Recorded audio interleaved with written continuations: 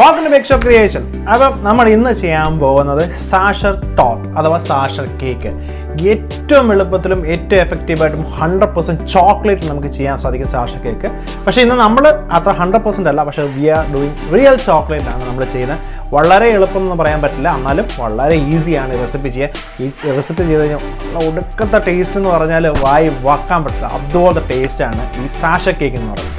അപ്പം chocolatey and സ്പോഞ്ചിയാണ്. Sponge എന്ന് വെച്ചാൽ നമ്മുടെ സെമി സ്പോഞ്ചിയാണ് ഈ ചോക്ലേറ്റ് കേക്ക് എപ്പോഴും. അതായത് എപ്പോഴും നല്ല വെറ്റായിരിക്കും. അതുകൊണ്ട് നമുക്കിതിനെ ഷുഗർ സിറപ്പിന്റെ പോലും ആവശ്യമില്ല.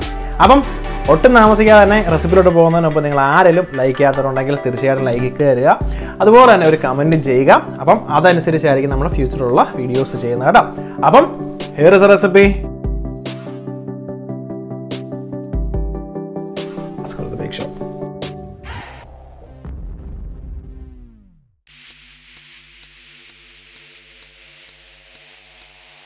ആദ്യം തന്നെ നമ്മൾ ചെയ്യേണ്ടത് ബട്ടർ മെൽറ്റ് ചെയ്തെടുക്കുക. അതിന്റെ അകത്ത് നമ്മൾ എടുത്തു വെച്ചിരിക്കുന്ന ചോക്ലേറ്റോട് മിക്സ് ചെയ്ത് നന്നായിട്ട് മെൽറ്റ് ചെയ്തൊരു ഗണാശ പരുവത്തിലാക്കി എടുക്കുക കേട്ടോ. ഇത് നമ്മുടെ സ്പോഞ്ചിന് വേണ്ടിയാണ് നമ്മളിങ്ങനെ ചെയ്യുന്നത് കേട്ടോ.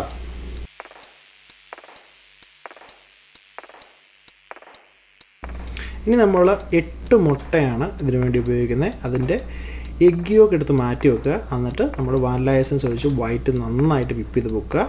അതിന്റെ കൂട്ടത്തിൽ മൂന്ന് പ്രാവശ്യമായിട്ട് ആഡ് ചെയ്ത് നമ്മൾ ഷുഗറോടെ ആഡ് ചെയ്ത് നന്നായിട്ട് വിപ്പ് ചെയ്ത് പൊക്കിയെടുക്കുക കേട്ടോ. ഇതിന് പറയുന്ന പേര് മെറൈൻ എന്നാണ് കേട്ടോ.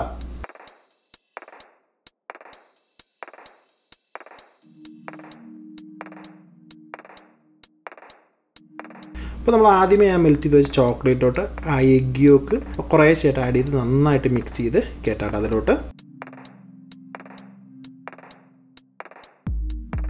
ഇനി നമ്മൾ ആ വിപ്പ് ചെയ്ത് വെച്ച മറായൻ നമുക്ക് അതായത് എഗ്ഗ് വൈറ്റ് കുറേശ്ശെ അതിലോട്ട് ഫോൾഡ് ചെയ്യാട്ടോ ആ ചോക്ലേറ്റ് ഇട്ട്. ഇങ്ങനെ ചെയ്യുവാണെങ്കിൽ ഒരിക്കലും കട്ട പിടിക്കത്തില്ല. കട്ട പിടിക്കാതിരിക്കാൻ വേണ്ടിയാണ് നമ്മളിങ്ങനെ ചെയ്യുന്നത് കേട്ടോ. അപ്പോൾ ഫുള്ള് മെറൈനും ആഡ് ചെയ്ത് ഫോൾഡ് ചെയ്തതിന് ശേഷം നമ്മൾ എടുത്തു വെച്ചിരിക്കുന്ന മൈദായും കൂടെ ആഡ് ചെയ്ത് നന്നായിട്ട് മിക്സ് ചെയ്ത് കൊടുക്കാം.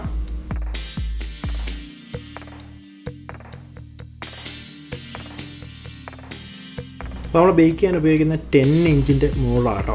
അപ്പോൾ ഇതിന് പേപ്പറൊന്നും ഇട്ടിട്ടില്ല ഞാൻ. അതിന്റെ ഒന്നും ആവശ്യമില്ല അതുകൊണ്ടാണ് കേട്ടോ. അപ്പോൾ ഒരു നൂറ്റി അറുപത് ഡിഗ്രിയിൽ ഒന്നര മണിക്കൂർ ബേക്ക് ചെയ്തെടുക്കാം. ഇത് നമ്മൾ ഉണ്ടാക്കുന്നത് ഗണാഷാണ്.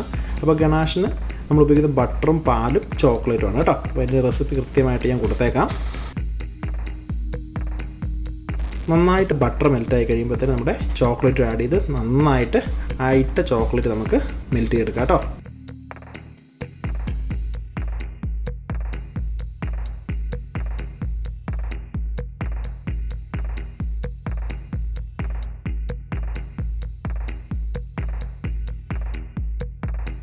ഇനി നമുക്ക് ചോക്ലേറ്റ് ഗാർണിഷ് ഉണ്ടാക്കാം. വൈറ്റ് ചോക്ലേറ്റ് ഗാർണിഷ് ആണ് ഉണ്ടാക്കുന്നത്. നമ്മൾ വൈറ്റ് ചോക്ലേറ്റ് വളരെ ടൈം കുറച്ച് നമ്മൾ മെൽറ്റ് ചെയ്തെടുത്തിരിക്കുന്നതാണ് കേട്ടോ. വളരെ സിമ്പിളായിട്ട് മെൽറ്റ് ചെയ്തെടുത്തിരിക്കുകയാണ്. ഒരുപാട് ലൂസ് ആക്കിയിട്ടില്ല അതുകൊണ്ടാണ് ഇങ്ങനെ തിക്കായിട്ട് നമുക്ക് പൈപ്പ് ചെയ്യാൻ പറ്റുന്നത്. അപ്പോൾ നമ്മൾ ആഡ് ചെയ്യേണ്ടതെന്ന് വെച്ച് കഴിഞ്ഞാൽ നമ്മൾ കുറേശ്ശെ സ്പ്രിങ്കിൾസോ ഇഷ്ടമുള്ള ഗാർണിഷ് ഈ സമയത്ത് ആടാൻ ആഡ് ചെയ്യാം കേട്ടോ.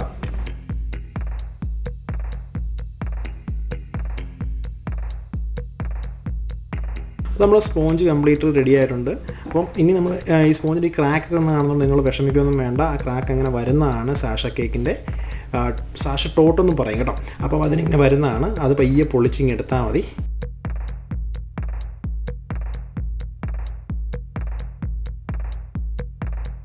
നല്ല പാളി പാളി പോലെ അടന്ന് പോകുന്നോളും കേട്ടോ. വേറെ ഒന്നുമല്ല ബേക്കിംഗ് പൗഡർ ബേക്കിംഗ് സോഡ ഒന്നും ഇല്ലാത്തതുകൊണ്ടാണ് ഇങ്ങനെ വരുന്നത് കേട്ടോ. ഇനി നമുക്കിത് ഈക്വലായിട്ട് കട്ട് ചെയ്തെടുക്കാം.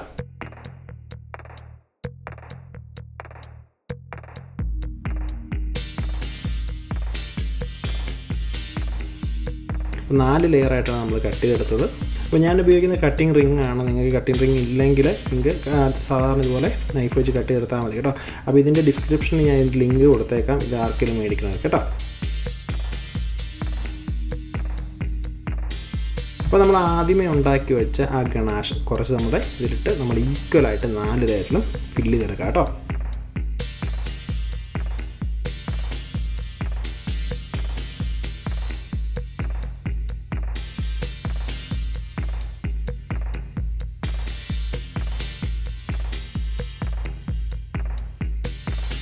ഇനി ആ സൈഡ് ക്ലീൻ ചെയ്ത് ഒരു ഫ്രിഡ്ജിൽ ഒരു അരമണിക്കൂർ വെക്കാം.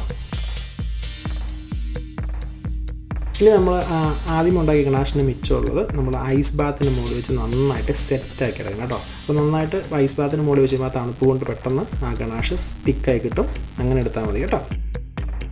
നമ്മൾ ഫ്രിഡ്ജിൽ വെച്ച് നമ്മുടെ കേക്ക് നന്നായിട്ട് സെറ്റ് ആയിട്ടുണ്ട്. സൈഡൊക്കെ ലെവൽ ചെയ്തിട്ട് ആദ്യം നമ്മൾ സെറ്റ് ചെയ്യിച്ചെടുത്ത ആ ഗണാഷ് നമുക്ക് മുകളിൽ സ്പ്രെഡ് ചെയ്ത് കൊടുത്ത് എനി ഡിസൈൻസ് നിങ്ങൾക്ക് ഇഷ്ടമുള്ള ഏത് ഡിസൈൻ വേണം കൊടുക്കാം. ഞാൻ കൊടുക്കുന്ന നിർബന്ധമൊന്നുമില്ല.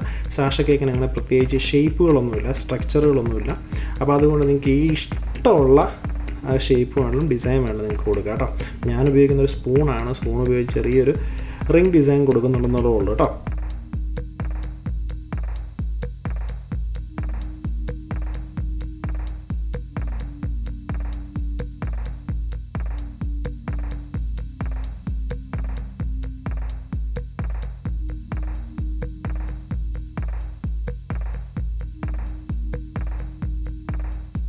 അപ്പോൾ നമ്മൾ ഇനി ഡെക്കറേറ്റ് ചെയ്യുകയാണ് നമ്മൾ ആദ്യമേ ഉണ്ടാക്കി വെച്ച ആ ട്രീയുടെ ഡിസൈനുള്ള ചോക്ലേറ്റ് ആണ് നമ്മൾ മുകളിൽ വെച്ച് ഡിസൈൻ ചെയ്യുന്നത്.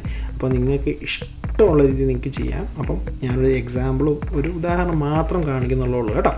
അപ്പം എല്ലാവർക്കും വൺസ് മോർ ഹാപ്പി ക്രിസ്മസ് ഇപ്പോൾ ആരെല്ലാം ഇനി സബ്സ്ക്രൈബ് ചെയ്യാത്തതുകൊണ്ട് തീർച്ചയായിട്ടും സബ്സ്ക്രൈബ് ചെയ്യണം. നിങ്ങളുടെ സപ്പോർട്ടാണ് നമുക്ക് ഏറ്റവും കൂടുതൽ സബ്സ്ക്രൈബ് ചെയ്യുന്നവരുടെയാണ് നമുക്ക് നിങ്ങളുടെ സപ്പോർട്ടും കാര്യങ്ങളൊക്കെ അറിയാൻ പറ്റുന്നത്. തന്നെ നിങ്ങൾക്ക് എന്തെങ്കിലും പുതിയ റെസിപ്പീസ് വേണമെങ്കിൽ തീർച്ചയായിട്ടും കമന്റ് ചെയ്യാം കേട്ടോ.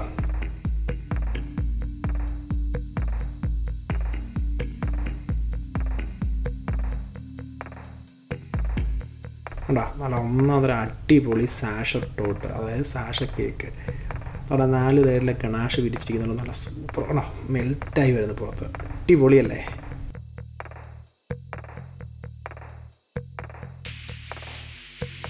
അപ്പം നിങ്ങൾക്കിപ്പം ഇത് കണ്ടപ്പോൾ തന്നെ നമ്മുടെ ആ സ്പോഞ്ചിന് ചെറിയൊരു ക്രാക്സ് ഒക്കെ തോന്നിയ പോലെ നിങ്ങൾ തോന്നും ഓ ഇത് സ്പോഞ്ച് ശരിയാണല്ലോ എന്നാൽ നമ്മൾ ബേക്കിംഗ് പൗഡറും ബേക്കിംഗ് സോഡയും ഒന്നും ഉപയോഗിച്ചിട്ടില്ല. സോ ഇത് ആ മോളി വരുന്നതെന്ന് പറഞ്ഞാൽ ആ ക്രാക്ക് പോലെ വരുന്നത് നമ്മുടെ ഷുഗറാണ് അപ്പോൾ അതുകൊണ്ട് ആരും പേടിക്കേണ്ട കാര്യമില്ല.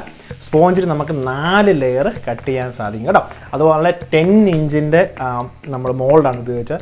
ഏകദേശം ഈ ഒരു സ്പോഞ്ച് കൊണ്ട് നമുക്ക് ഒന്നര കിലോ ഉള്ള കേക്ക് വരെ ഉണ്ടാക്കാൻ സാധിക്കും കേട്ടോ. ഒരു കിലോയുടെ സ്പോഞ്ച് അല്ലത് ഒന്നര കിലോ കേക്കിന്റെ സ്പോഞ്ചാണ് അപ്പം thank you for creating in the big shop നിങ്ങളുടെ അഭിപ്രായങ്ങളും നിർദ്ദേശങ്ങളും തീർച്ചയായിട്ടും കമന്റ് ചെയ്യാൻ മറക്കരുത് കേട്ടോ.